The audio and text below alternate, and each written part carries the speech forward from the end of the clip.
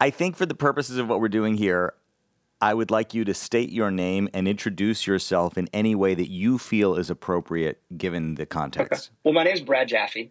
I would call myself a, a friend of the podcast. Um, I've been listening since, you know, I think before Leo, you even put the first one out. And uh, listened to every one.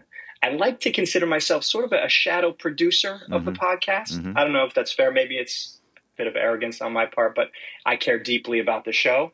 And, you know, I, I think I, I talk to you more than I talk to any other, you know, friend or family member on the planet. Okay, given all that, are Hmm. you a professional musician or music business professional?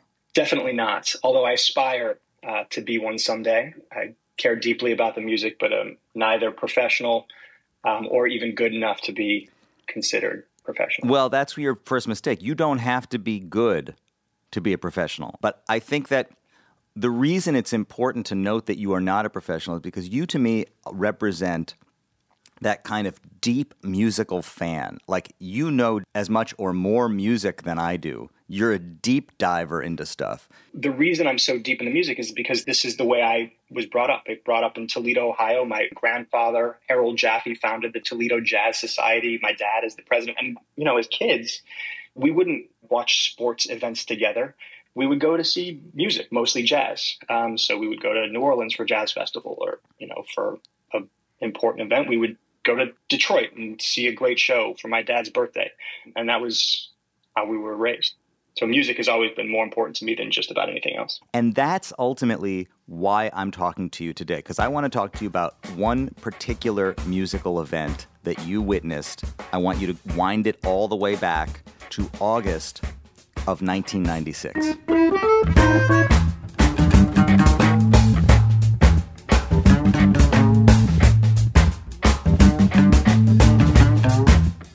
So how old was I in 1996? 19 years old. Uh, that's a long time ago. Memories fading, and you know who knows what kinds of things I was doing back then that would fade my memory further. But what I do recall is that was an exciting summer because we were, I say we, it was you know a group of friends traveling around to see as many Phish shows as we possibly could. And I was also, you know, at the time, just like you, a student at the University of Wisconsin in Madison. Medeski Martin Wood, who I had never seen before, was playing at the Memorial Union Terrace. The night before, Phish, band that we've been following around, was playing at Alpine Valley, which is, you know, a short drive from Madison. And I think there were a couple days off for Phish. I think they were playing at Red Rocks or something. And from what I understood, there were people promoting Medeski Martin Wood in Madison on this night off.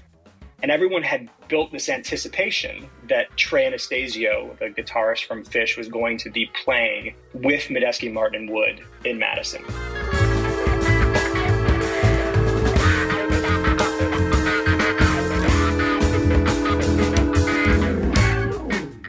Why do you think that anticipation or that assumption was there? What was it about Medeski Martin and Wood that would be attractive to a Phish audience at that time? Well, look, this was, you know, the early days of what became known as the jam band scene, I guess. And Medeski had been played pretty regularly between sets and before Phish shows. So people were aware of them. I was turned on to me by another Phish head friend, and I was blown away. And, you know, similar structure, there's no vocals in a Medeski show, but the structure was often similar. You'd have a certain groove, and then it would just disappear into this improvisational land. You'd never know what you could get. And, you know, Phish heads like to dance. And if there's one thing that I can tell you about a Medeski show is that it is all groove. Yeah, there are moments of sort of avant-garde strangeness, but it's only to get you to the point where you can really feel that groove again. Tension and release. Tension and release. And I don't know of a band that does it better than Medeski Martin Wood. Yeah. Now, you and I were talking about this show recently, and you were able to go back into the Phish archives and identify the day that this happened. It's true. Do you remember what day it was? August 9th, 1996. And you can find, you can actually find a clip of it on YouTube. They play at least one song. I think you might be able to see the outline, the silhouette of my head in the front row, because I was, my knees were on the stage. Um, and you know, the Memorial Union Terrace is a place that I would go all the time. Yeah. I'm sure you did as well.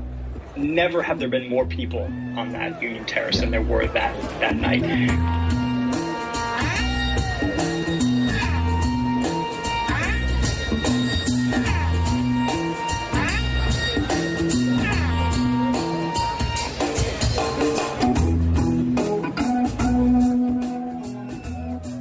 Reason I wanted to talk to you about this particular experience is because when I talked to John Medeski, he pinpointed that concert as the moment that he and the band kind of came into contact with what would become the jam band scene.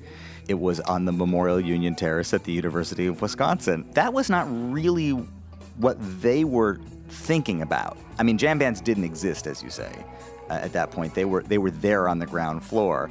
It's just interesting that they then have had to kind of confront and negotiate and embrace this audience that they didn't necessarily even know could belong to them or would ever be a part of their life. Mm. Look, I, I have no idea what it's like to be a musician and to expect a certain type of audience or to create a type of music that you hope uh, a certain audience will be into. But what I know is that the jam band audience, I mean, if you can even call it that, is a group of people who love to feel totally engrossed in the present moment. Yeah. You know, witnessing something that will never be done in the same way again. And that's what's so exciting and the authenticity of that and the opportunity to see players of that capability mm-hmm. so connected and so connected to the audience. And, and that's what happens. The community together creates this moment. Mm-hmm. And it's mm-hmm. something that hopefully the members of the band enjoy as much as the audience. To be honest, it, makes me a little bit sad to think that the band might not appreciate that feeling as much as the audience might. Look, I, I, don't mean to put words in anybody's mouth. I have not talked to mm. any of these musicians who say that they don't appreciate it. What I do understand is that it wasn't something that one would aspire to because it, first of all, because it didn't exist. You know what I mean? Like the whole Phish yes. phenomenon that I think kind of grew out of the Grateful Dead and expanded and started to absorb other music. I mean, in a way, it probably expanded the sort of the musical palette of a lot of people that Phish then gave people a way into the avant garde. Absolutely. Which was not something that you would have expected if you were to trace it back to the dead that suddenly there's right. there's going to be all these like kids freaking out about some avant-garde musicians. That's true. But I also think that what you describe is a relationship between the musicians and the fans that doesn't always happen in improvised music. The audience takes on its own identity. There's there's kind of a culture and there there's codes and, and there's engagement. Absolutely. And I think that's what's so compelling about it and why people come, keep coming back and why I think that you don't need to have a massive audience to be a wildly successful musician in that genre because people keep coming back because they know every time is going to be different.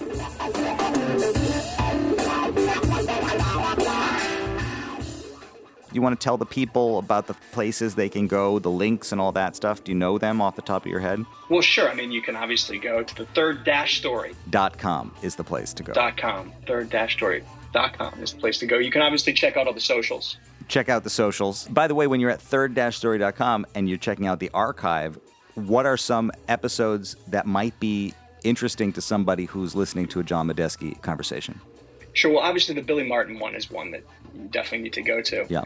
And there are a number of other people that you've spoken with, I think, who sort of are jam band adjacent. Mm-hmm. Who would some of those people be? Charlie Hunter, for example. Of course. He's one of my all-time favorites. I think I embarrassed myself with him once too. Who hasn't embarrassed themselves at least once with Charlie Hunter? And I think you'd also be remiss not to mention some of the upcoming dates that you're playing because um, I like when you do that. I want people to come see you play too. Uh, I'll be at Crooners in Minneapolis on August 19th and 20th. I'll be in Madison on August 23rd. Then in Atlanta, Georgia on the 25th of August at the Atlanta History Center. And then Chicago Green Mill, which is a great venue. And by the way, the weekend before I play there, Charlie Hunter with Kurt Elling, Super Blue, are Amazing. playing there. All my gigs are going to be with my dad. So, oh, there's one other thing. Patreon.com mm. slash third story podcast. And finally, I'm in a new partnership, relatively new partnership with WBGO Studios. WBGO.org slash studios is where you go to check out all their excellent content. Without further ado, here's me talking to John Medeski. He was in Finland in a hotel room. So he was like jet lagged and kind of in road mode. And I had just come back from the emergency room, from urgent care, because I had cut my foot open that morning. And I got a bunch of stitches in it, and I was kind of disheveled and discombobulated, and I decided that I would still go ahead and do the interview. So, between his jet lag and my headspace having just come back from the emergency room, it was quite a way to start a conversation. John Medeski, I am so excited to talk to you, man. It's a long time coming from me, and I hope you don't mind me sharing this with you, but I want to tell you about what happened to me this morning because I think it might actually be significant to our conversation.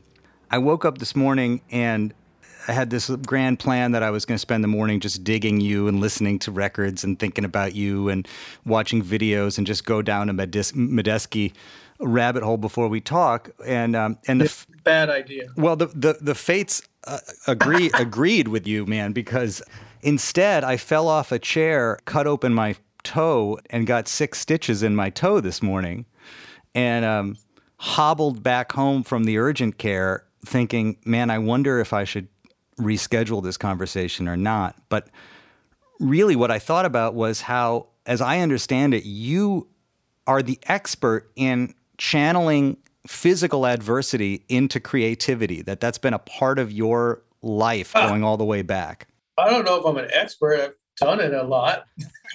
I guess I could say I'm old enough that you know I'm of the I'm of the show must go on era. You know, no matter what, the show must go on so yeah, I've I have played gigs passing kidney stones many times.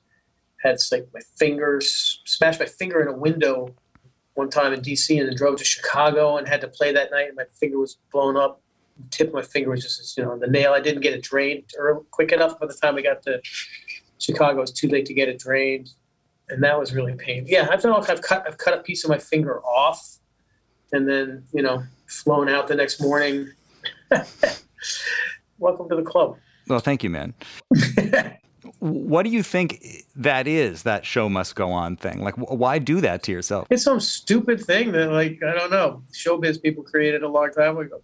But also, I don't know. It's like, I mean, part of it is like, yeah, when you're on the road, there's a thing in motion, and there's a lot of people depending on you doing it. There's that aspect of it. That's like more the, the sort of business side of it is like there's people that bought ticket. You, know, you can't cancel, you know. So unless it's really unless you're really incapable of performing or then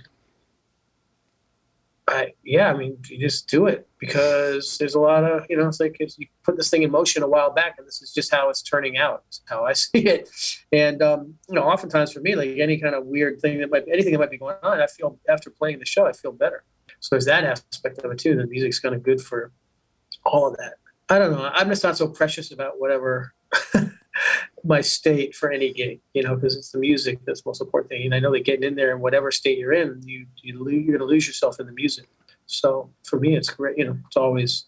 There's only one time I ever got knocked down and couldn't. I had to cancel. We had to cancel a tour in Europe when I had this cluster headache thing that came on. But other than that, like I've, yeah, I managed to not really ever cancel a gig for anything. Right. I mean, it sounds like it's been with you enough that it, it's not necessarily out of the ordinary for you to be dealing with something. I read an interview, you talked about kidney stones. I read an interview with you where you talked about Bruce Lundvall coming down to hear Medeski Martin and Wood play, and you got signed based on a concert that he saw while you were dealing with a kidney stone. Yeah, that was a double edged whammy because it was the first time MMW was playing in New Orleans, which was very exciting for us. But we were playing at this at the the club that was at was then Margaritaville, mm-hmm. the most un New Orleans. Although Jimmy Buffett has a serious New Orleans history, not to take away from that, but it's definitely more of a touristy like, you know, it was not like a classic New Orleans club. It was a newer, tourist geared chain club in New Orleans. So it was that that was weird. And then I'm passing a kidney stone, and that was the night Bruce Lundvall decided to come down and see the band live. So yeah, I just crawled out of the camper, got on stage, played the gig, and then went back into the camper. I didn't even really get to go. Um, I just said hello to him and explained the situation. Went and um, went back and just dealt on my dealt in my own. But um, yeah, and he yeah he decided he wanted to sign us. So yeah, that's kind of that's true. Do you think that maybe dealing with affliction has contributed? I mean, I understand you say you feel better sometimes when you're done playing or it goes away when you're playing. Is it possible that it has actually contributed to the music, like informed your approach in some way? Well, okay, I'll tell you my theory on that. Uh, but I think, you know, I, I feel better after because I mean, you know, I mean, really for me always knowing it in so many words or not, music is, you know, a healing force on every level or on any level, I should say, depending on what you need, you know. And um, so that's just a fact. But in terms of when it comes to playing under, you know, under some kind of duress or with something that might be distracting, I feel for me that like in some ways having something like going on with a it creates this mild bit of distraction that in turn requires a certain kind of inner focus probably gets me out of the way of the music because mm-hmm. when you're feeling good and you're all proud of yourself and all you know you're you're you know my experience has been you know oh this feels great yeah it's so much fun yeah you know i'm really like really getting off of what's happening. When I go back and listen to it, it's not as good as I thought it was. And sometimes the the the, the place where I was like the most just overly critical or not feeling good or even not aware of what was going on is sometimes there's some stuff I didn't even know happened. I'm like blown away by how it came out. So I think in a way, having something like that can actually be distracting in a way that gets you out of the way of the music just flowing out. Mm-hmm. You know, out of your head. Yeah, I mean, it, gets, it forces you to you, you know the, just the, the physical the pain distraction. All you can do is just get it done. So in a lot of ways, you just let the music, especially you know, this is we're playing. We play improvised music. I mean, if you're trying to play some complicated, pre-written piece of music or sight reads, you know, some kind of cl- you know complicated classical piece, it's going to be hard to do that if you're in pain. But when you're playing something you really know or you're improvising, you know, sort of channeling music. Uh, or you're playing like you know a piece that you're very familiar with so that you don't have to think about it then that I, in a way like i feel like you know my experience has been that those circumstances get me out of the way mm-hmm. of just letting it go let it flow you know so i'm not like i'm not having too much fun or you know i'm not you know i don't know or you're maybe not even aware. I mean, that's what you describe as a kind of a, a space where you go to where you're aware, you're present, but you you may not even be aware of how you got there or what you did because you're you're uh, yeah uh, as soon as you as soon as you like are like checking out what you're doing i think it's kind of like you know i don't know skateboarding or surfing i've used that analogy before like yeah i mean as soon as you become too self-aware you fall over hmm. you know it's that fine line it's that zone it's that balance of like you know being in it part of it and you know not that you can't enjoy it but usually you enjoy it after. you know, after that like ridiculous ski run, you know, life periling ski run that you get. Then at the end, you're like, yeah, that was great. You know, but you got there's a certain level of being in it, focused, and like riding the wave. And I think that's kind of true for the music too. You know, you gotta be right. You know, you gotta you gotta ride that wave, and part of that, is, and I guess that's what I mean by getting out of the way, where you're not too present in terms of what your own experience is. You know, mm-hmm. enjoying, not enjoying, whatever it is. You know, it's like to just really just be in the vibration of the music and the vibration of what is happening. Mm-hmm. You know, and you know that's what I think you have to do that, especially if you're going to play and improvise music. You need to be in the vibration of the room. You know, of the other people. You know, you need to be creating um, a space that invites the audience in. then you need to be in the music, reacting to what each musician is doing. You know, and listening to it and making choices at every millisecond, you know, what to do next. Mm-hmm. And then you have to be in the city that you're in and the country that you're in, and the continent, and the planet. You know, it's like it's just like in some way you got to be that got to be present in that way. Yeah, and the historical moment. You know, when Trump was elected, I remember talking to a bunch of musicians who said that they felt somehow now that they understood that, you know. Um, music really could be used as a form of protest or that music has this function that they never really understood before. And now during COVID, I hear musicians saying, well, music can also be a form of healing in very real terms. I mean, you described it as healing earlier when I was asking you about playing through injury and all that kind of stuff. But like, you know, I wonder if there is a, if it's a more precise version of that where you say, yeah, we need music to heal ourselves in some way. Well, we always do. You know, I think trauma happens to people all the time. you know, maybe a, this is a, this is definitely much more of a collective mm-hmm. thing, but I mean, it's always there. Music is to me, and just from my perspective, and for me, like music just seems to be this way of yeah i guess you know you could use i mean healing uh just, i mean yeah i mean it is that unquestionably but you know there's so many ways that healing there's so many forms that come in it's like music can be a release mm-hmm. it can be soothing you know it can be um, just to, to take you out of your intellectual mind you know it's like it's like it's funny it's like it's, it's, and it's so different for so many different people and some people want to hear that song they know they've heard a million times because that gives them a certain kind of comfort.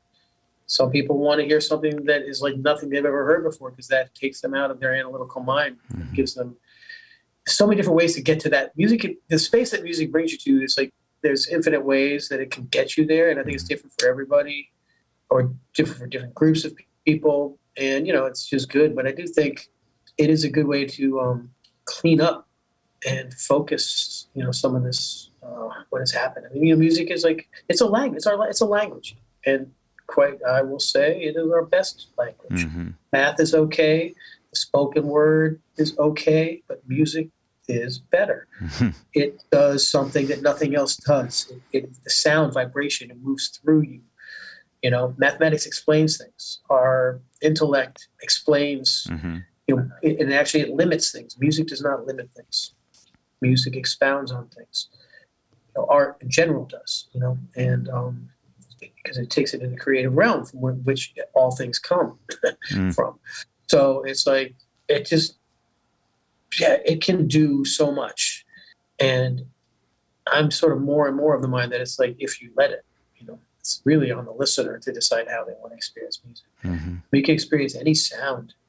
It, you know, it could be a sound, you know, a horrifying sound or an, or an annoying sound can be a way to enter the moment, you know, and, you know, it doesn't have to, you know, you can choose how, how you experience something, you know, whether it's the sounds of the city, the sounds of nature. It's a lot easier to, you know, with the sounds of nature or some soothing instrument to find to find it soothing or to find that place of um, you know relaxing into the now. But really, any sound can do that if you let it.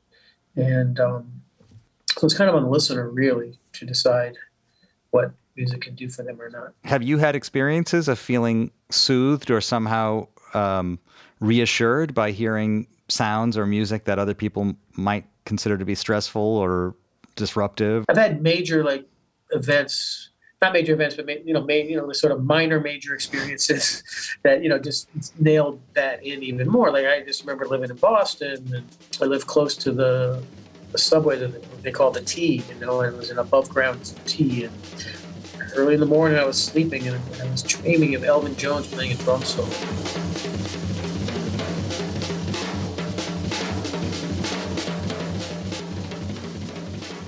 I could see him here. And as I woke up, it was the sound, basically, it was the sound of the subway going by, was what he was playing.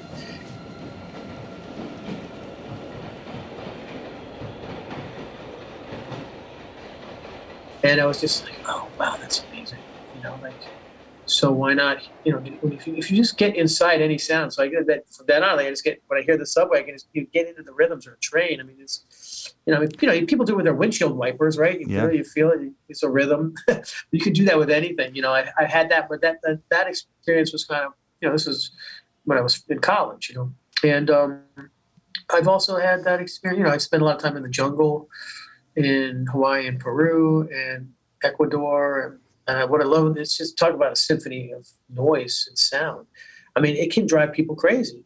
You know, I love it. It's like to me, it's like this, you know, this never-ending, ever-changing symphony. You know, that has certain cycles that repeat over time, but it's like it's really something else, and it soothes that soothes me. And also, I do feel like you know, for me, uh, a lot of what people would consider aleatoric music or contemporary classical music that you know has been sort of uh, I don't want to use the word ruined, but has been taken to a place by a lot of horror movies, you know, because mm-hmm. it's like they've taken, you know, Kubrick did it with a lot of with Ligeti and these, you know, mm-hmm. taking this music and putting it to certain images that makes it seem like scary music, but in fact, I don't think it's really scary. But a lot of the music, I think, for me, that when I when I when music is really like really free or atonal or seemingly atonal, I can there's a part of my brain that I can just let go. mm-hmm. you know, because I don't, I'm not like figuring out what's going on anymore. I'm just like, ah, you know, forget it. I'm just gonna let it wash over me. Mm-hmm. So, and that, that, like, I know for some people that's not, they, that doesn't work for them, you know, mm-hmm. that, that sort of, but I love that energy, you know.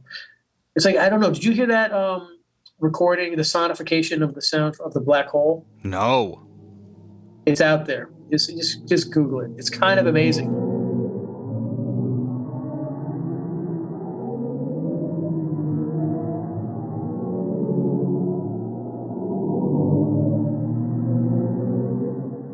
Listened. I was like, "Oh, this is so cool and kind of weirdly wild and beautiful." But like for a lot of people, it's really scary because yeah. it has this sort of like reminds you of like the space sounds from a you know scary sci-fi movie or something. Because it really is like that. It's like it's an incredible sound.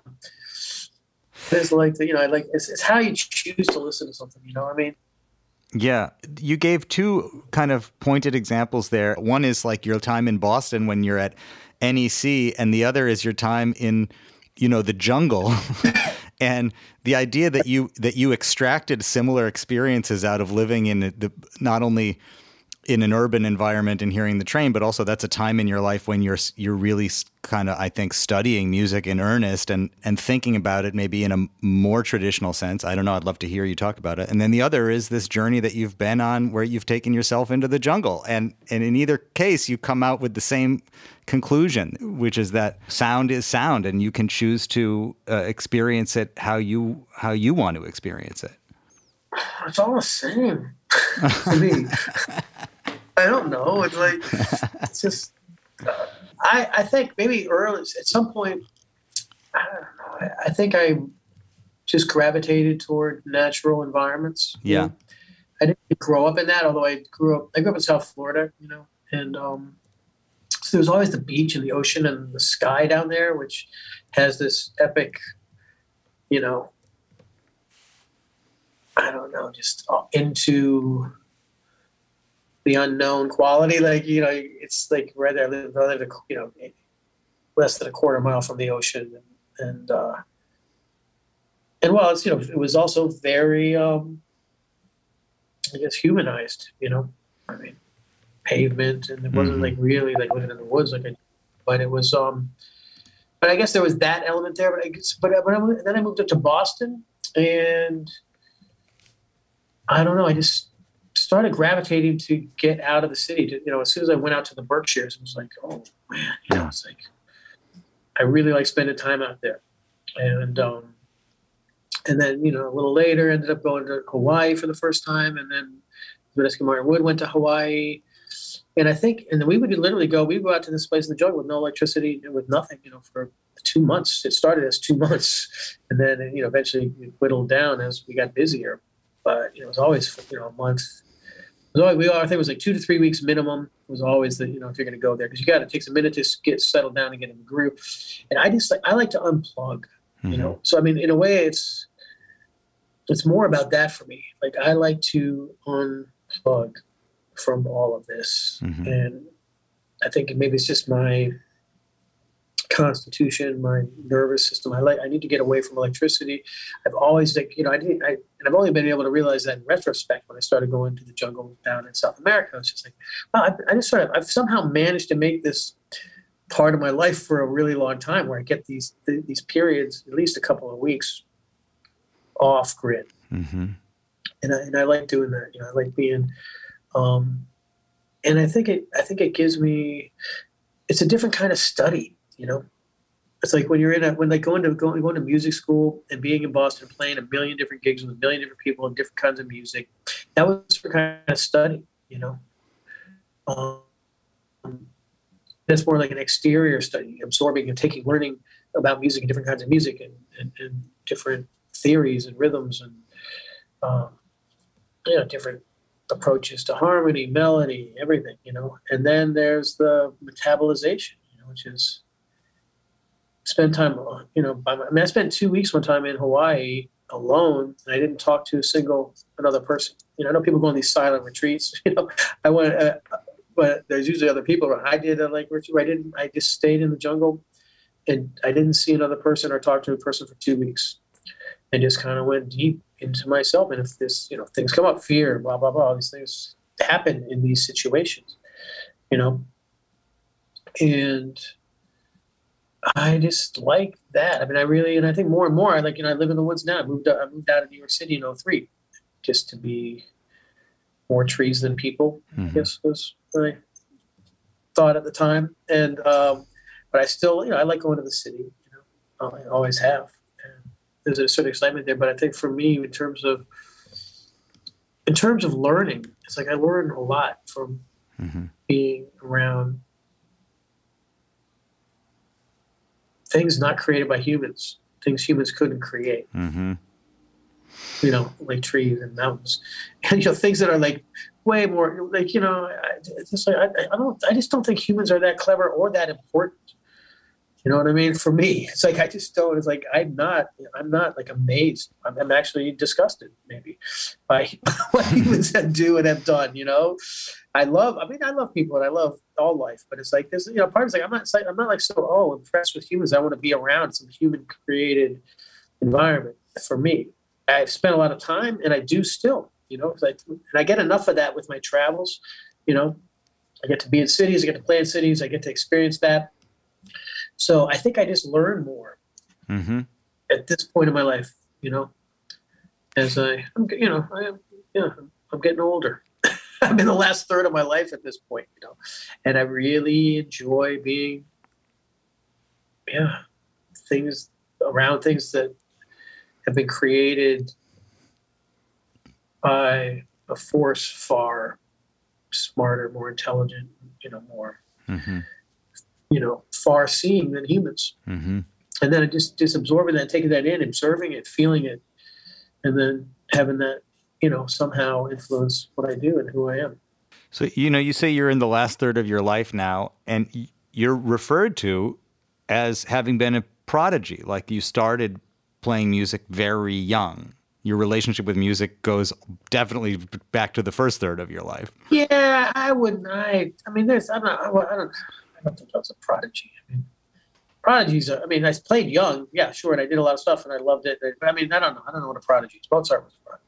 So wh- why do you think you are referred to as a prodigy? Who refers to me as a prodigy? I don't know. It's like it's it's one of those things that gets said and then passed around in like yeah, articles and things. Yeah. People say well, he's a prodigy. I started playing really young. I did. I started playing. You know, I started taking studying classical piano when I was five, and I played. And it came certain aspects of it came easily to me, and I did.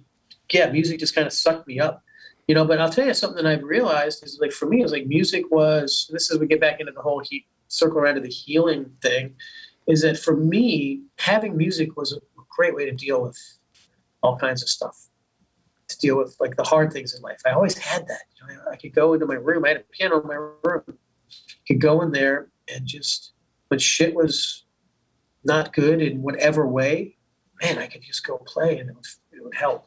Even 10 minutes you know like whatever, just sit there, just a ah, just a quick something, quick five minutes of being creative, making something up, you know, would really just it's like clear, mm-hmm. clear things, clear my head, you know. So, um, and I realized that's kind of like what that's what like what music was for me is what is why I would like to share it with other people. Do you know what I mean? Mm-hmm. It's because like it was so good for me to have that. I'm so lucky to have had that in my life help me get through like whatever. I mean, yeah, diff- I don't want to use the word trauma because I had a really good life, but whatever difficulties I had, whatever I went through, you know, in my life, whatever um, aspects of my existence that were brutal, music really um, helped me, you know, having that in my life. And it wasn't about performing, really, you know, although I did that too, but it was really like what it did for me. Yeah. just it was really amazing. And I think that's like really why I like to play music. I want to share that. I want people to have that experience. I want music to be that. I want people to get that from music. And I want, you know, I also like to inspire people to play music too. And I think it's never too late to start. You know, so and I think that's also why I play the music, the kind of music I do, and never really went as commercially as I could have. It like every turn that we could have gone more commercial, we didn't. You know, I think it's because like that's not what gave me the experience you know, that didn't do it for me. That's not what gave me what I needed. Yeah, it's never been about being famous or or even making money or it's been about like that, you know, creating music that might help somebody who needs that particular kind of music, which is what I needed.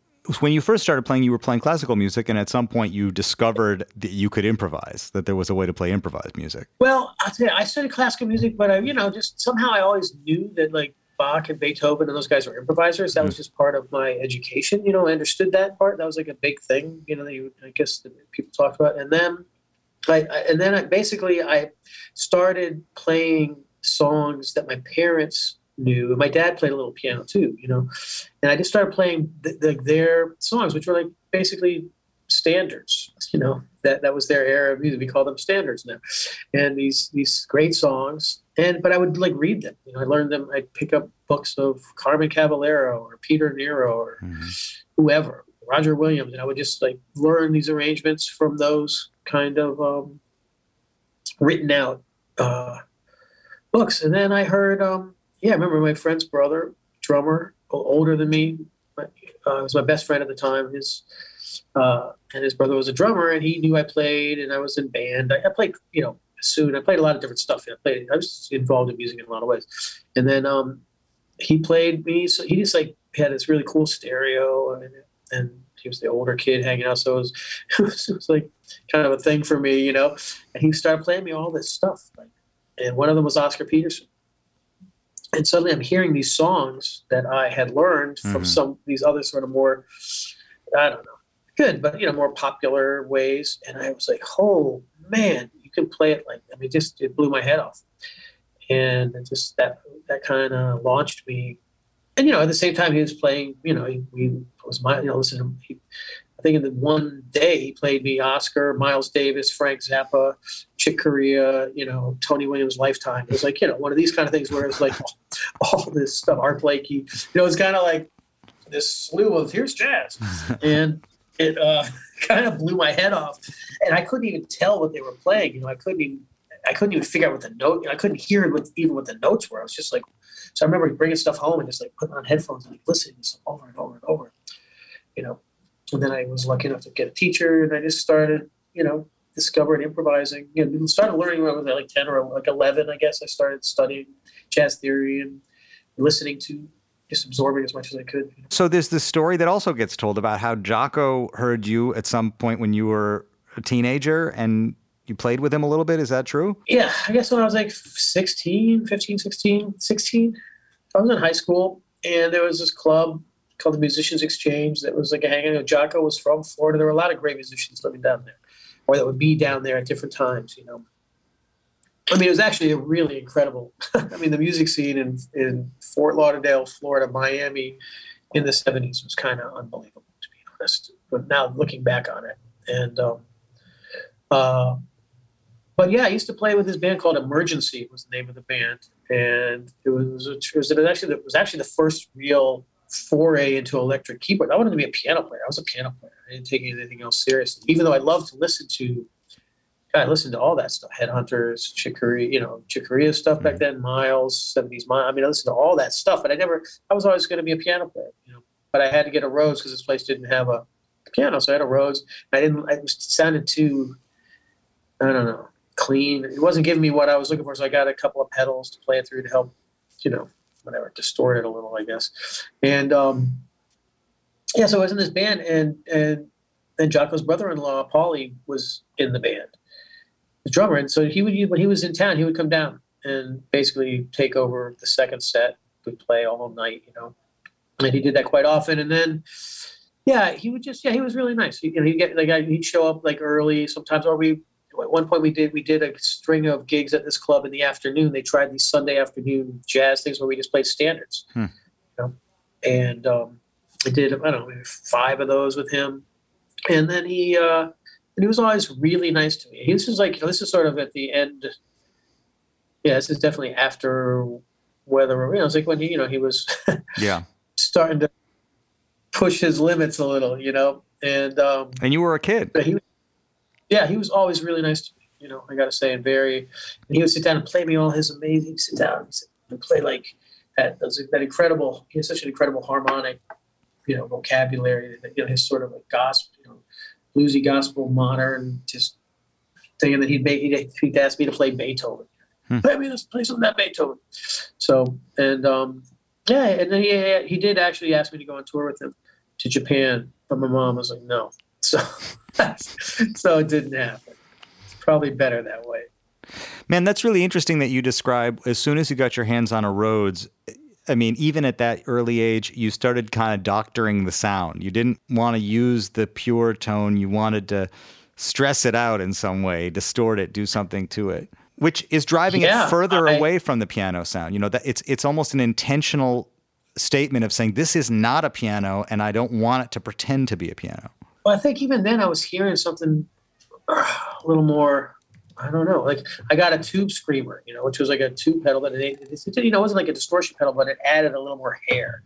Just I just needed more hair. It wasn't, uh, you know, it just didn't have the bite that I was looking for from an electric keyboard. I guess I don't know. I didn't. I was just, you know, what I mean, I was a kid, like a young kid. I was just.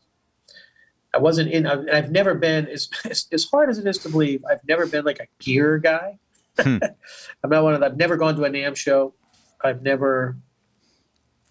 I've never done any. I'm not part of that. I don't, you know, post whatever me playing whatever on Instagram and all this stuff. I'm not like really in that world like so many people are. You know, I'm just a music guy. You know, it's like, and I've you know collected certain keyboards and it's um. And I just like to, you know, it's really about what is it doing? Do, do I relate to it? Do I feel it? Do I can I make something cool? Then I think even back then, like I got the Rhodes, and I was kind of like, yeah. Uh, so I wanted to add. I just wanted a little more air on it because this, you know, the music was kind of high energy, and I didn't feel like it was. I don't know. I, I don't really know, but I guess it just wasn't cutting in the way I wanted it to. Like I wanted more bite, and who knows? So when you went to Boston, what did you hope for when you went to music school? I was pretty open. You know, I think when I went to music school, I wanted to. I knew. I think I already knew I wanted to be. I mean, then I, I'm not. I didn't. This is definitely not what, how it turned out. I wanted to play. I wanted to be a jazz. I wanted to play jazz of some kind, whatever that meant. I mean, already, you know, by that point, 83, 84, who the hell knew what jazz was? Mhm. I mean, there was there had been this resurgence, you know, with Wynton and all that. Right then, I mean, I, I remember seeing Wynton when he was with Blakey in the beginning Mhm. in Fort Lauderdale at this club called Bubba's. And it was so great, man. You know, I just remember it was just Wynton and Branford, you know, Yeah. with Blakey. And freaking fantastic. But that that spawned this whole weird, I don't even know what. I don't even want to go into it, but it spawned something very weird in jazz.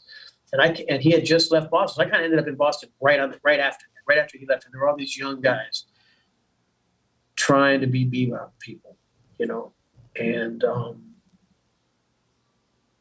for me, that wasn't what it was about. You know, I like I, I was I, I had a much because of where I grew up. I had a much you know music was music, and it wasn't like you know jazz wasn't bebop. I mean, jazz, there were so many faces to jazz from what I saw. But I, who am I to say? I'm a white kid from freaking Florida, Mhm. so I never pretended to know anything. But that was uh like my perspective, and so I kind of went with an open mind, I guess. But I, I, I my parents like really you know, they were going to help pay for my education, you know, whatever. I would get a scholarship and whatever was left. They were going to help me pay for my education. I didn't really even want to go to school. Like back then, it was taboo to take a year off. Now, like, you know, Yeah. gap year. They even have a name for it, gap year. And um, back then, it was like, if you can take a, you know, if you do that, you're never going to go back. So they kind of pushed me to go. And uh, so I went, I basically applied as a classical piano major. Hmm. And I got into Juilliard, Eastman, and the New England Conservatory. And actually, I got into all in Brown. I just I applied to whatever. I got into all the schools I to, and I, I even got you know got certain teachers at Juilliard, like at Juilliard, Eastman. I think you know asked for. certain- I kind of got what I was looking for at all these places, and I went to visit all the schools, and I Juilliard was just like ugh, man. It was just so. It's back then. I, I mean, I think now it's a whole other beast. And it's back then it was very every you know music as a competitive sport. That was the feeling I got there, and there was no jazz program. Hmm. Although it was in New York City and jazz is everywhere. Yeah. I went. Eastman also had a Eastman had a really good jazz program Yeah. but out in Rochester, you know, and so somehow Boston kind of won. My parents liked the idea of being in Boston better than New York City, and also the New York Conservatory. That the interweaving of the programs was much more natural, much simpler, Mhm. And so I ended up going to the conservatory. Plus, my dad's family was in Norwood, not far from Ah. Boston. I just kind of ended up there. And my dad had gone to BU, so there was a, so I ended up going to the conservatory, and I was did a year as a classical major, and then I switched. I started having problems with my hands, and I just ended up uh, yeah changing majors over. We moved over to the third stream program, which was also I, and at that to be honest, when I applied there, I didn't even know what that was, or even, I didn't even care what that was. I knew who Gunther Schuller was, and you know mainly because he produced the Ornette record. I mean, you know, and I'd heard of third stream, but it didn't really. But it was yeah, it was kind of one of those things that was like perfect timing, perfect everything for me to be able to have that program available and then to just you know dive into a program where the whole idea was to create your own honest style of music you know Wh- What is what is what are the the guides around the third stream program? What what is the program? well you know it's no longer called the third stream program and it's like at that time it was i mean it was you know it was being run by this incredible piano player named Ran Blake and he um was very advanced like his heart he is i mean his harmonic stuff is so advanced and and he has such a huge broad love and a deep you know he's just incredible you know he's a combination of very intellectual but also very felt. And he developed this whole program about using ear training. It's all about music as an oral art. And he developed what we can say i could say is a very college and graduate level approach to using the ear hmm. to, to create your music and learn music. Which was actually really good for me at that time I, I really needed that. But i think third third stream is really a term that gunther schuller came up with which was the combination of jazz and classical Mhm. music but it, by the time i was at, in the program it had grown to be a combination of any musics Mm. you know what I mean? Because it's suddenly third stream just became this like, which to me is like really just about personal style. You know, what you know, be it's uh, kind of made me really start to think about who I am, get in touch with like what what I really love. You know, what what- you know what the music I really love, and and how do I be sincere about that, and not stop trying to be a jazz guy. Know, Yeah. and the school there was so much music. I mean, I, I heard. I mean, I you know. That's the one thing about being in music school. And at the time, the school was very, I don't know, the the jazz program was great, but it was um, definitely the president of the school did not appreciate jazz, Hmm. and it was a weird sort of like keep the jazz in the basement sort of thing. But there was so much going on there. The, you know, the, the big band there was one of the best big bands in the country, the medium rare big band at that time. You know, it's like it was, it was kind of the end of an incredible era Mhm. at the conservatory had so many great teachers george russell joe Maneri, jimmy giuffre you know it was just like jaki byard it was just really like it was kind of unreal you know now that looking back on it Yeah. the level of what's going on there and things were a lot looser in general so there was a lot of a lot of crosstalk between departments and yeah i was really able to just absorb as much as I could. You know, I played a lot. I did a lot of gigging. Then you know, skipped a lot of classes. Yep. Went to a lot of concerts. You know, Mhm. it was like this that at the time. And it sounds like when you got to New York, on the one hand, you came here right in the heart of the Young Lions, the return to bebop, guys in suits, you know, all that stuff. But on the other hand, you know, you had the knitting factory and you had the whole downtown scene that was happening. Yeah, when I moved to the city, I moved to the city like I, I mean, I kind of my first uh, from Boston, I moved out to the Berkshires, Uh-huh. moved out of the woods, and then I started coming into the city, and I had a place out in the Berkshires. I had a, I had my country home and my apartment in Flatbush for five hundred dollars a month combined. Eighty nine, yeah. so how about that? And then I guess in ninety one, I moved. I really officially moved to the city, and moved to the East Village. And I remember somewhere that I don't know if it was when I was when I was sort of half living in Brooklyn or if it was, but at some point I remember going to a jam session. Um, it might have been at Blue Note or it might have been at Visiones. Mhm. I don't was there on that block. I remember that much, and I just it was like a turning point for me. Like I went in and I sat, you know, went up and I sat there and like the horn players were I call it Night of the Living Dead. the horn players were like lined up like zombies with their instruments and coming up and playing solos on top of these tunes, not even remotely listening to anything I was playing, and worse of all, not listening to the drummer. Mm-hmm. Just playing this diarrhea they've been practicing in their practice room. You know, this you know this total like you know ripped off whatever. You know, it's like you know a Steve Grossman lick here, a freaking Brecker lick here, you know, a half-ass Coltrane like here, you know, whatever it was. It was just like all derivative shit, you know, and not listening and not listening to the rhythm section. And I was like, this is not jazz, mm-hmm. you know, for me. And it was really disillusioning. I was like, do I, I don't want to do this. And I've been lucky enough to play with, you know, musicians that listen, you know. Mm-hmm. And um, yeah, I mean, when I was in Boston, I played with this great drummer, Alan Dawson, who was like, you know, Tony Williams' teacher. And I was like, you know, I, I played, yeah, I mean, I got to, whatever, you know, working with Bob Moses, I got to play with Dewey Redman, I got to play with Billy Higgins, I got to play with all these incredible musicians in Boston. And then I go to New York, and all these young guys are, I was expecting, like, I was expecting something else. Mm-hmm. You know, I was expecting the music to feel alive and not dead. So it kind of was a weird thing. And then I discovered the knitting factory, mm-hmm. you know, and I was like, oh, this is the spirit that I'm looking for. Even if whatever the music is, it doesn't matter. This is like creative. They're like, they're actually, you know, looking at each other and playing together. I mean, that, that you know, that scene is kind of, I think, why I ended up gravitating more towards the downtown scene. Plus, I was living in the East Village. Yeah. I mean, Medeski Wood really spawned much more out of play, my du- duo gigs at the Village Gate, which was definitely a conservative jazz club. But you kind of do whatever you want in that at that place because it was almost background music, you know, but not, you know, even though there were people listening, it was it was half, you know, the 50-50 listening slash bar music, so you can kind of get away with whatever. And that, you know, so that's where I guess really the first gigs that we ever did were there. Right. I want you to tell me the story because, as I understand it, you and Chris were kind of cycling through drummers, bringing different drummers in.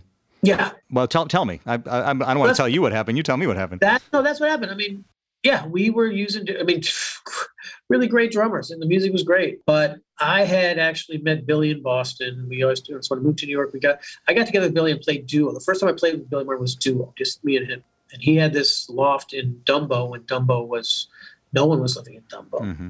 And he had a little, record, little recording set up and we played, you know, duo.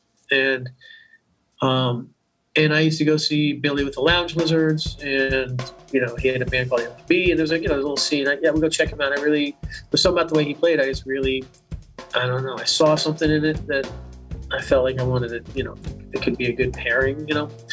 And then Chris and I would have these duo gigs in the Village Gate, which we play standards, but we do our own arrangements, and and then finally Chris and I just went over to Billy's, you know, and uh, played, and he recorded it, and literally the first thing we played.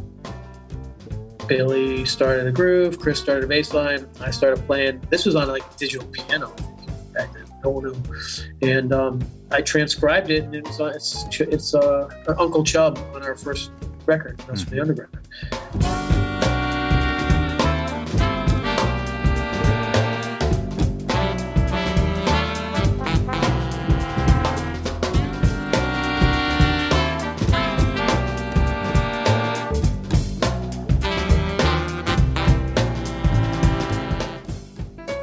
That was just a transcription of our first improv. Hmm. So the chemistry was kind of immediate, you know.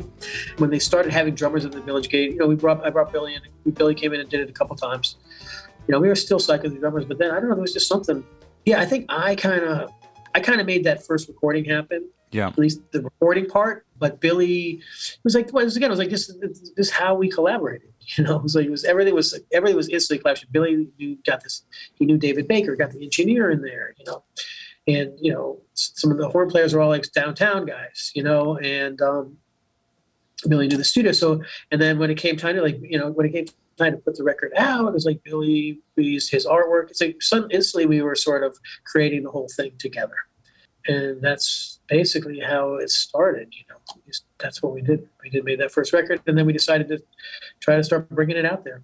You know, even in the jazz adjacent world, whatever improvised music space, not jazz, not not jazz, whatever world that you're in, bands are not so common. I mean, in the jam band space, there are bands with names and logos and all that stuff. But in the jazz world, to be a band I think is a little bit of a novelty. I, I, mean, I don't know if that's how it was back then. If you want to go to back then, there yeah. was no jam bands.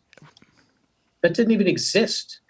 You know, it was like we're talking 90, not 91. You know, there wasn't a jam band scene. There was no scene. Yeah. I mean, there were a couple bands out there. I found out later, Yeah. Yeah. like Phish, and you know, they were out there playing around, but there was no jam band scene. And like, really, the paradigm of, and I won't, I'm not won't mention any names, but I have a lot, lot of musician friends that you know, the paradigm in New York at that time was to play with a lot of different groups. Yeah. To land a record deal with one of these bands. And then you make a record, and then you have tour, then you have like Yeah. whatever the record company can offer you, and then you're, you know. And I got to say, just for some reason, I just saw that as like, oh, you, you know, slave to the record company, and you know, it's like I saw through the bullshit, really, of Mhm. it, and I did. We just had this intuition that like, I mean, I, my my theory was that look, if we can, because you know, it was impossible to play seven nights a week, or even 3 Mhm. nights a week with that band in New York Yeah. and get to come out enough to make it worth it. But I was like, you know, if we go to different cities, we could probably be playing almost every night and just make this create this circuit. And if we can get 50 people to come out every night, man, we can Mhm. make a living. You know, that was really it was that simple. So we got in the van, we went down there. Billy had some connections. We made connections um, down like Atlanta. I had a friend in Atlanta, and Billy had a girlfriend in North Carolina. We just ended up like starting this playing this little circuit down there. And I think, you know, one of the first guys we met out of our scene was Colonel Bruce Hampton. hmm He came and sat in with us in Knoxville. The, the promoter there said, made, made this happen. And we were like, who is this guy? What are he was amazing. He came in and just like, and he, we just hit it off. He loved us. We loved him. You know, his, he's just, you know, he was such a wizard, you know. Back in 1992, we were a good band. We were traveling all over Finland, England. We went over to London too. We were up and down the Hudson River. We were shedding a lot. We lived in a shed. yeah, just sort of then word just started spreading. People like kind of like grew up with it. People that moved to Boston when you know from Boston when I did. They all were like, you know, thought we were stupid. Oh, you know, you know that's not how you do it. Yeah. And I was kind of like, are you allowed to swear on this show? As much as you want. Okay, well I don't. I mean, I don't want to. But I was just kind of like, fuck you, man. I don't- You don't know how. You know, how do you know how it works? That's like how it. Maybe that's how it used to work. But like, if, as far as I'm concerned, the '80s, the whole record business ruined music. Yeah. know? and like ruined a lot of things. That whole era was just awful. So I'm like, I don't know why we're going to have to live by that kind of skin. I want to get out there. Just, I just want to play. I didn't care about recording records. I Mhm. hated it because the idea of documenting stressed me out, man. I didn't want it. The permanence, forget it. I hated that. I like the gigs. So I like to be in the moment. Music for that moment, in that moment. I didn't want to listen to the recordings, you know Mm-hmm. whatever. We made press kits. We did the whole thing. You know, we went down. You know, we had Billy's dad's basement where he printed T-shirts, made press kits. You know, the band's first original name was Coltrane's Wig. Why? You know, long story, short story. we were just we were lost for a name, and so we were just that. You know, we sort of like feeling out. We asked John Murray for, and that he gave us like a couple of names, and that was one of them. And that just cracked. I just felt like it was so irreverent and weird. Coltrane's Wig, and sure enough, it really pissed off some jazz club owners. So, and then some. So we we immediately and then the year later we changed it. We said, you know, and again, like this is a, this is at a time when all bands had weird names, butthole Yeah. surfers, you know, fucking whatever, and um, cool. And there's a lot of great names back then Sure. too. But we're like, there's too many good names. How about we just make it simple? We just made it our names, you know, and then picked a, a symbol to represent us so that you, there could be a visual, you know, because the name was kind of long, and that was kind of it. And that there, was before that was before Prince did his symbol thing, by the way. Just you were ahead of it. Yeah, I understand. You were. You were. you no, know- well, it had nothing to do. But we were, it's also for different reasons. But we just like created a. We knew we needed some visual image. We just, we just did all that stuff back then. You know? You know, you said this thing earlier about how every time there was an opportunity to be more commercial in your career or less commercial, you, you, or maybe you didn't choose the less commercial one intentionally, but you you didn't make decisions based on commercial success. I think that in some ways the emergence of the jam band scene was a kind of commercial success that came about in spite of the decisions that you made or you know in tandem with in the sense that you did get bundled in with a crew of people that maybe were not oh, we still are. I still am you know? And my mom my mom always said don't bite the hand that feeds you. so I didn't. But also, like, I really felt like, hey, you know what? You can't pick your audience. I mean, that's the other thing. I guess, I guess for me, uh, you know, just having seen the way record companies and musicians like you know get this concept and then target this thing it's so calculated and for me music has nothing to do with that i wanted music to be just a part of our lives you know we were like a gypsy we were just like traveling around the, you know we were traveling in a camper staying at state parks like I don't know. We were like trying to live a good life, like getting to see, you know, see this country in a good way, meet people, have meet friends. We slept on first part of the tour. We slept on people's floors. We got to make good friends. Yeah. We had these, you know, we'd go back and visit them. Like we create, it was like trying to create some kind of real life that wasn't a sacrifice of your life, even though it ultimately ends up being that.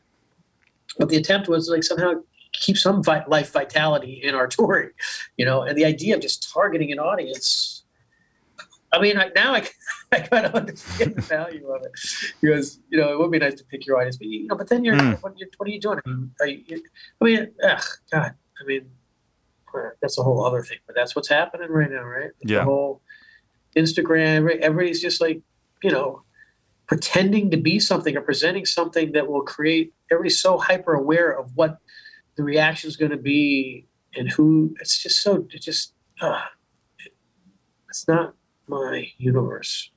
So for us, it was really about getting out there, and yeah, we just ended up, you know, and I think it, a lot of it had to do with the band Phish you know, you know, playing playing our CD every night on tour before on one of their tours, playing it before, and people wondering what that is, and then getting because they, you know, you know, the, it, the first influencers, you know, mm-hmm. they because they liked it, everybody started checking it out, you know, and then suddenly, I remember the first time we ended up on this tour. It was absolutely unintentionally paralleling their tour around hmm. the country. We didn't know idea. We didn't barely knew who they were, you know, at first. And um, and yeah, we got to know them, and I, I love them. They're you know great, beautiful people, great, you know, they're great. And but we didn't know, and and our tour is kind of paralleling them. We ended up in Madison, Wisconsin. I guess it was a night off. That's where I'm from. Oh, there you go. I love Madison. And I remember, I don't know if it's going to be this, but I remember when you played on the Memorial Union Terrace. Yeah. Basically, there were like, I don't know how many thousand people were there. It was just like, it was really weird to us. Like, we didn't, it was like all of a sudden, whoa. And it was like definitely a different looking crowd. That was the first gig where we had this other, this other look, another vibe to the crowd than up till then. And it was just kind of like, whoa. But it was kind of cool to have that many people there and then then somebody explained to us what was going on. yeah. We were, okay, it's this it's this Phish parallel thing, and you know it's great. I mean, we're appreciative of that. You know? I remember I I asked Eric Krasno how to manage a jam band audience, like if there's some you know unspoken contract you enter into with a jam audience, and he said one thing is that they don't want you to repeat yourself. Like if you're going to play multiple nights in a row, that Soulive anyway would choose not to play any of the same material. Phish doesn't repeat itself. Yeah. Did you feel that once you inherited this audience that you somehow had to negotiate well, with them? I, see, I think the part that people don't understand is we didn't inherit the audience. We were part of the creation of that audience. I mean, I, I don't want to sound bold, but like Phish was out there doing it, and we were doing it in, a, in smaller places. But that was our that was our mo like we, we didn't have to look at it and figure out what to do. That's just what we did. Yeah. First of all, we also improvised a lot. So we would just we never played the same anything. We never we never played the same set twice ever. I mean that was already like what we did because for us we like to keep it changing. You know, it had nothing to do with like that's what you're supposed to do. Is like that's just what we like to do. That's what we did for us. And I think Phish did it too. You know, we did that stuff for us because it kept it fresh, you know. And you know, sure, we'd end sometimes we'd end with this, you know, but we also weren't afraid to play the same song at the end of the night. Yeah, as an encore. You know what I mean? Like we didn't. It did. That was not a rule for us, but we just that was kind of just our mo in the beginning.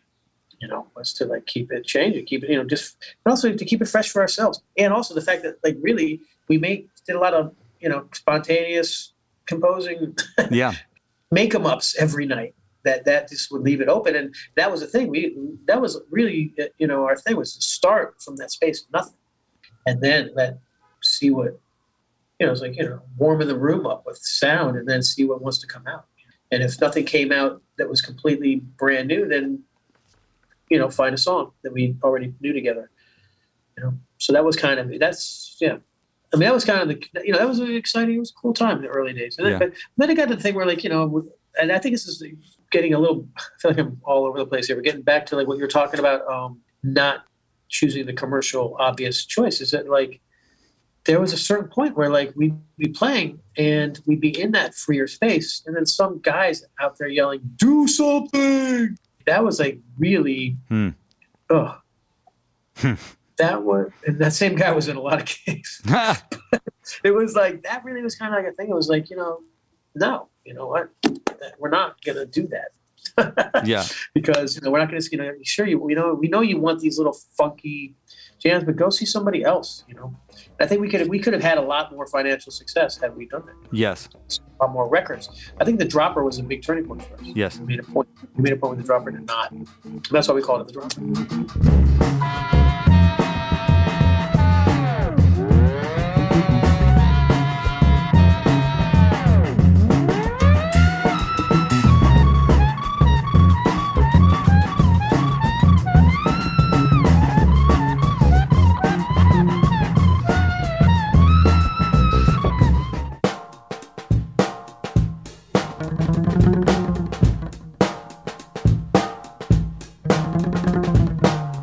What about the a go-go record with Scofield? Maybe it brought Sco also over to the other side, but it was like, no, we're still we're still yeah it brought Sco to the dark side Yeah.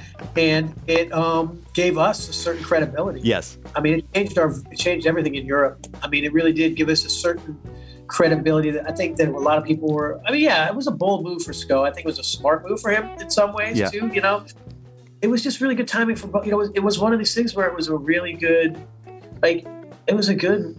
It was good all, all around. There was a chemistry there. Like he and for him to like you know to do that, like to take this younger band and like go on the instinct that there could be something cool from it.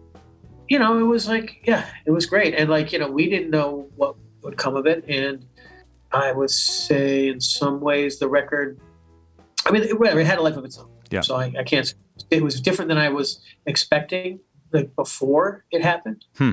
You know, I had heard Sco, I mean, I loved Sco's like own trio, Yeah. you know, and, um, but I had also heard him with Miles and stuff, you know, so I didn't, I was expect, I don't know what I was expecting. But um, the thing is, like, really, what what what happened was something really unique, Mhm. you know, and a, a certain chemistry that's just like like there's no other band like it. Totally. Oh man, I, that's still one of my favorite records. Sounds really good. It's like a great studio, incredible engineer, very detail hmm oriented recording, pristine recording. You know, it kind of showed another side of us too. Do you know what I mean? Well, talk about that. I can't because I have no idea. I just know that it did. I don't know anything about that. I don't really look at music like that. I can't like his, I can't historically analyze myself musically, you know. But I do know that when we play with other people, you know, different things come out. Yeah. Especially when we had a fourth member, you know, we had a then because we, I, I, you know, I guess I can say this now. We're good. We're good at accompanying people. you know, we're a good rhythm section Yeah. because we have this chemistry and we also listen and care. And like, we don't, you know, it's not about, we're not all just sitting around waiting for our solos. You know, Mhm. we like to get in there and create, you know, we like to get inside whatever's happening, you know, be ourselves, but also get inside the music. And, and so just Sco being who he is, and just he's so strong and so amazing and his, you know, rhythm. I mean, just whatever. We, we related in so, we related in a lot of ways. And he has this whole other aspect side of himself that he does that's, you know, and we, and so, you know, so do each of us. We Yeah. whole other sides of ourselves. But where we meet, you know, like with the common language, the common ground, really created something, I think, you know, unique When you were talking, with a real with a real chemistry, which I which I haven't really addressed yet on this podcast. But it's like that's like the key to everything is like the chemistry. It's not about like getting guys together that look good on paper. It's Mhm. like, is there a chemistry? You know, that's that, that's really what it's about. I mean, and come on, every band we love, it's about the chemistry, and you know, then then you grow to appreciate the individual musicians for how they are. But they're not all always. Not every musician is, you know. It's not about musicians at the highest level coming. It's about hmm what is created, what chemistry, you know, how did how do you how does it how does it come together? Well, you like to put bands together. I mean, you've got a lot of different projects, right? Mad Skillet.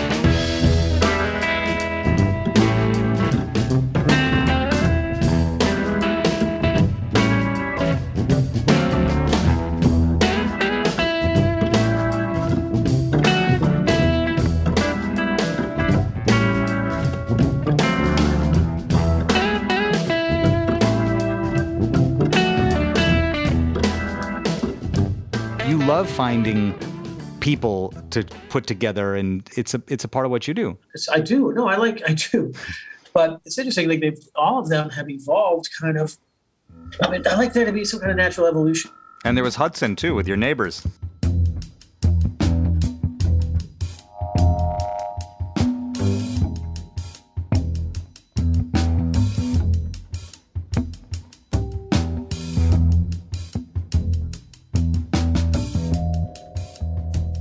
Yeah, well, that was again. That was like Jack's. It was his birthday. He wanted to do that. He was his birthday. Get you know thing, that kind of, that also evolved into a thing of you know having a life of its own. Yeah, that's true. There's Hudson. There's an okay, and then I, I do want to ask you about this one because I'm not. I just have spent a little bit of time with it, but I had been hearing about it last year, the Saint Disruption Project, because Yeah. that one seems like it's got its roots, it literally in the jungle. Well, just that, that Jeff and I met. In, that's where we met in, at Ecuador. In Ecuador, like in a place where you do not meet other people from the United So- States. Like it's not. It's not. It is no way, shape, or there's no website. It's not a. Like the only way to find about this is word of mouth by being into this kind of thing, and it's like What what is this kind of thing? What is this kind of it's, thing? it's, well, it's this tribe. There are these healers down in Ecuador, Secoya. They're master, who you know, master healers. You know, jungle plant healers who have been doing it the same way for thousands of years. It's like a deep tradition. They were only had first contact 80 years ago. You know, and, But what, and what is jungle plant? Like, is that ayahuasca? What is jungle plant?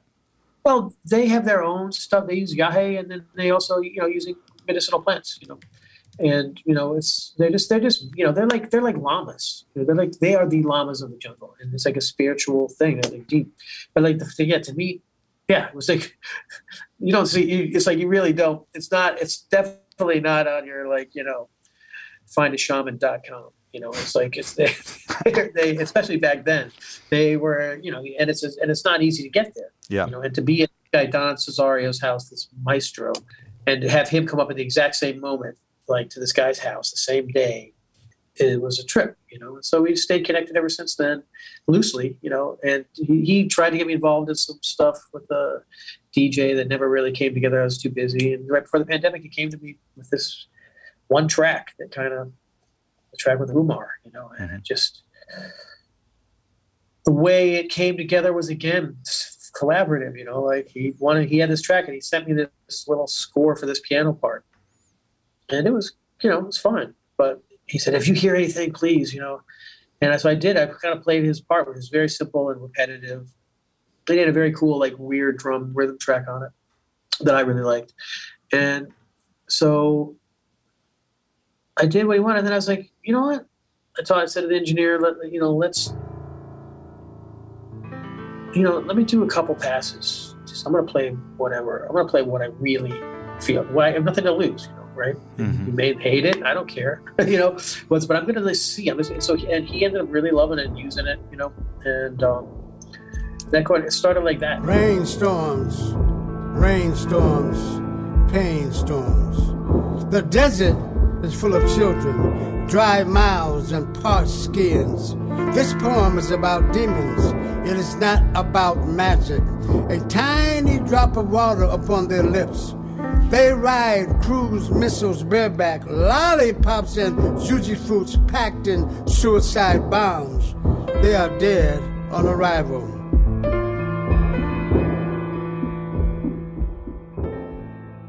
because I kind of didn't want to get involved in anything where I can't just be myself 100. percent You know, I, I Yeah. don't you know, I, I can do that. I can fill the, but I, I've done that a lot on records. You know, but I don't, not a lot actually. I've been very lucky that way. But um, so it just kind of evolved from there. You know, in that way. Then we just started. You know, and then I played on the rest of the tracks, mixed one of them, and Mhm. then you know we just did this version of Imagine that just came out. Yeah, Yeah. I mean, it's you know he's it's definitely he's spearheading it. Yeah. You know, but I'm involved. There has to be a part of you that is aware that anything you're going to put your name on at this point, it's going to you know raise some eyebrows because people are want to check out whatever you're doing. Uh, you know, I don't. I don't see again. That's what, maybe I should be more calculated. I don't even think about that. I just do what I do stuff that I feel like doing. You know? I know some people are really that again. That's like that's where like all these you know this whole whatever social media world is so smart. Like they know you know they know how to market themselves and what to do when to make the right choice at the right time to do. I can't. I'm just you know I'm just put. I just play music, put stuff out. Yeah. You know. Seems to be I working. mean, I just put out I just put out a solo, you know, electronic record on John Zorn's label called Crawl Space that I really love that I put out during the pandemic. This is one of the most aggressive, crazy sonic. And then up there, there's only a lot of you know, it's, it's very, it's very, there's a lot of written out stuff, but it's like a very epic. It's just me solo with you know playing all my different keyboards. Huh. Um, I just put out this kind of a whole thing, and I, and I got this duo recording right now of all Sun Ra material with cornetist Kirk Knuffke. Do you know him? no. He's great, uh, uh, great, fantastic, and that's good. That will be, we're, you know, we just finished mixing it. Gonna put that out sometime soon. So I don't. You know, I mean, I don't. I guess I don't really have a. I don't have a A strategy. thought out. I don't have a. Yeah, I don't have a. That's the word. I do not have a strategy. Exactly. Well, thank you for sharing whatever this lack of strategy was with me, man. I it's I'm so glad that uh, I didn't cancel just due to a couple stitches in the toe this morning. Yeah. Sorry about your toe. That was weird. It was really weird. John, thanks so much, man. Thank you. Appreciate it. Great. Take care. Talk Thanks, John. All right, bye-bye. Okay, bye. Brad Jaffe, there he was. John Medeski. Love you, buddy. Talk to you later. Talk to you soon. This has been a WBGO Studios production. To learn more about WBGO Studios' award winning podcasts, special concerts, live streams, and more, visit wbgo.org/studios.